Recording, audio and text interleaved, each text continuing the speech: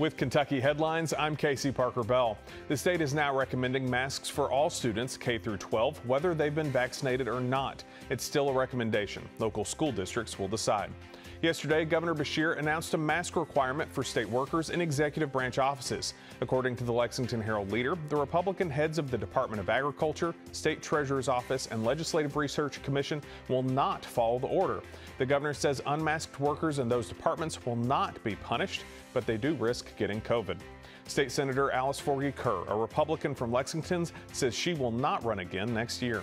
The Courier Journal says the Federal Election Commission is fining Senator Rand Paul's 2016 presidential campaign $21,000 for how it handled some financial contributions.